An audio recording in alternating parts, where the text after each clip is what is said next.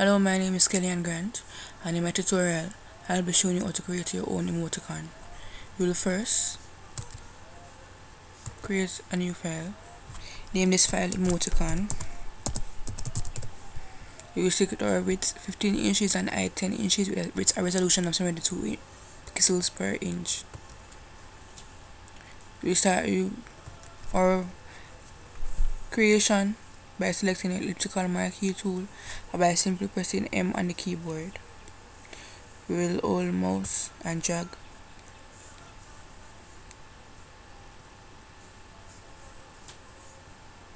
release. When we are finished put the mouse in the middle of the inside the selection and allows you to move the selection in any position or direction you want it to go we will put this layer put this in a new layer. Name this layer face. I'll be giving you color codes for each color that I'll be using in this tutorial. And I will be setting the foreground color to FFD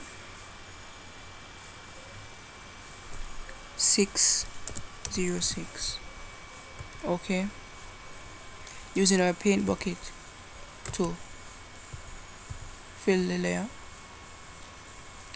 and selecting the elliptical marquee tool again. This allows you to edit the selection only. Right click and stroke. Choose change, change this color to black. Okay and I'm using 5 pixels in my width. And deselect by clicking Ctrl D and you see a beautiful face already outline of our face. Now we uh, will be using the elliptical marquee tool once again to create my eyes. Hold and drag. Release. New layer. Eyes. Name this layer eye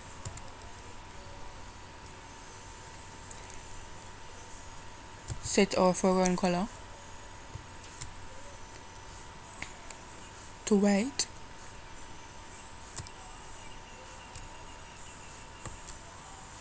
Which is this includes 6f as in type in f six times paint bucket fill.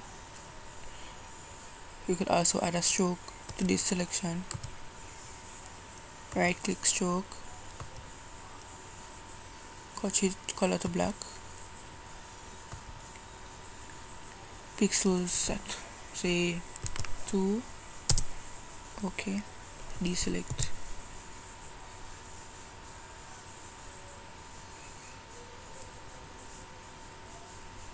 Go by the layer tab you see different layers. To make the more interesting I'll be using elliptical marquee tool again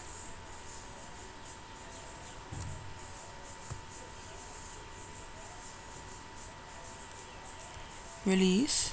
Right click new layer. I one. Set your foreground color. To zero five zero. Zero. E3 okay. Paint bucket. Release. I'm um, sorry deselect control D and a marquee tool again to get a small black dot in the middle of the eye right new layer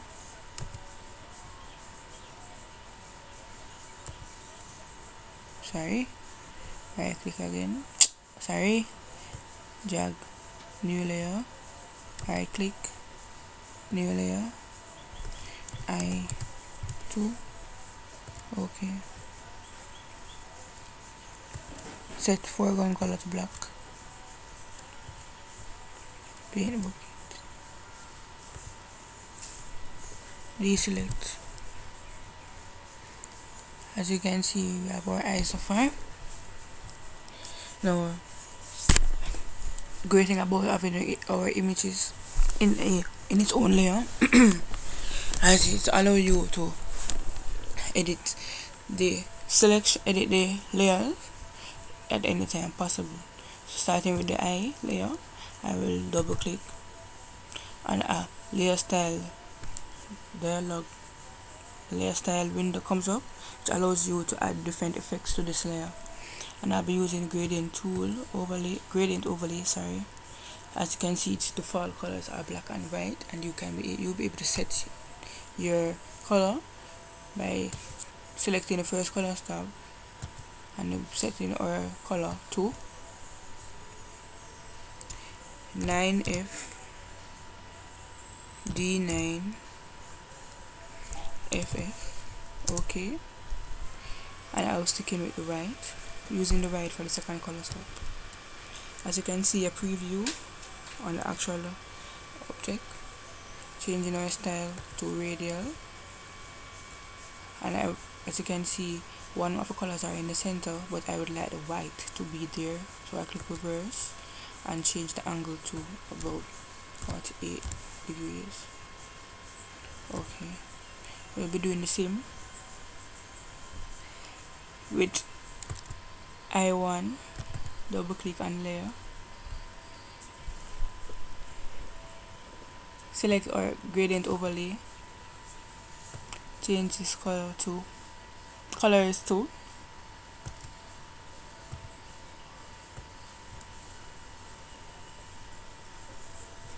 zero zero eight eight CC setting our first color and the second color will be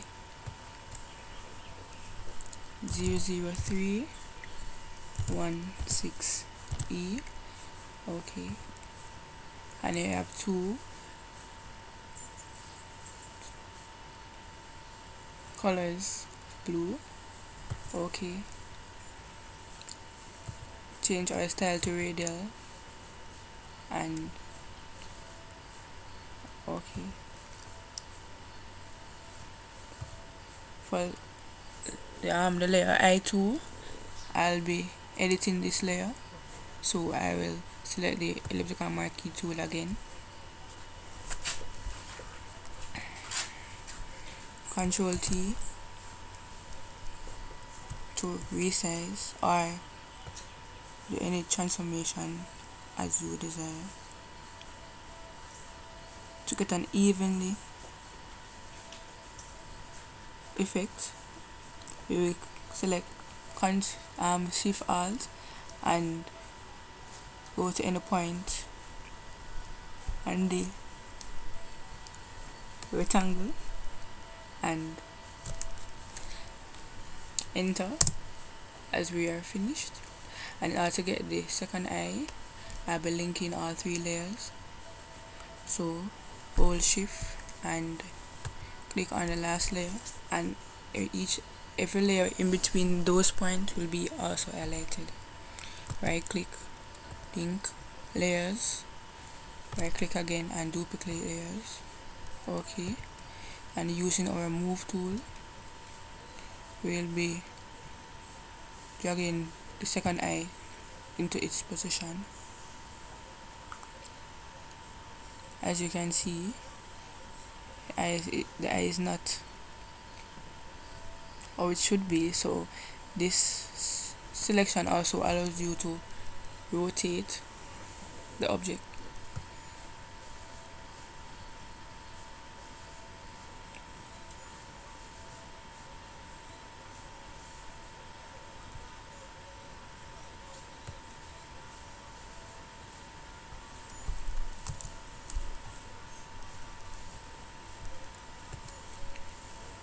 It is not yet in a suitable position so we will unlink the layers and edit each layer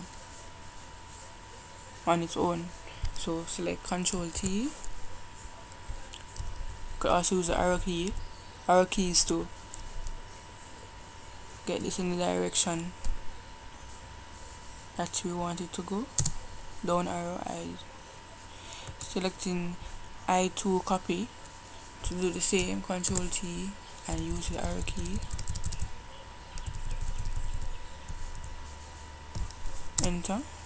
here we have our eyes now we're going to do in the, the mouth.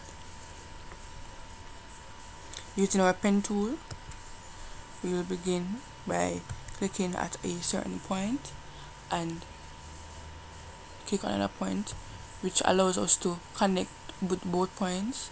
As you see a line and as you get this curve we will drag the mouse up until we get a suitable curve. Release the mouse.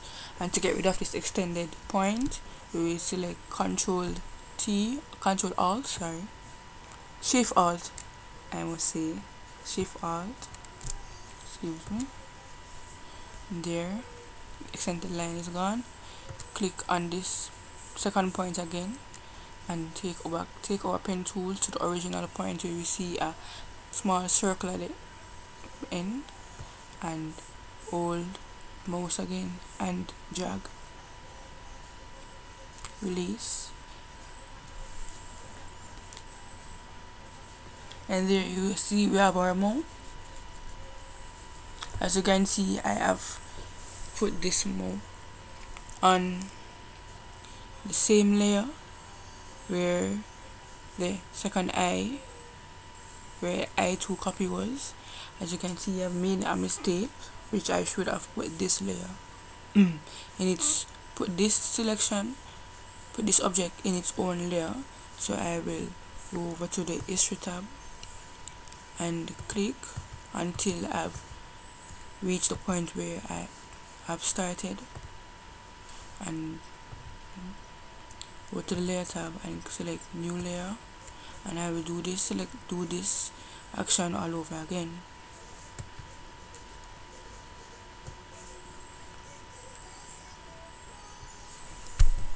shift all to get rid of this extended line.